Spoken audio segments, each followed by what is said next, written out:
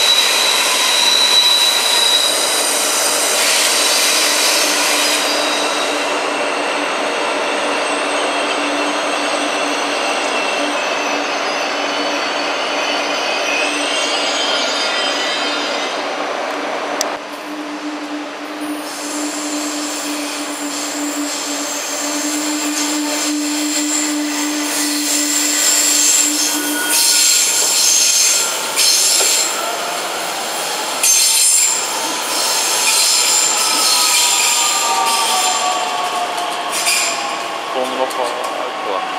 Uitgewacht? Nog niet helemaal. En daarna wil nou, maar.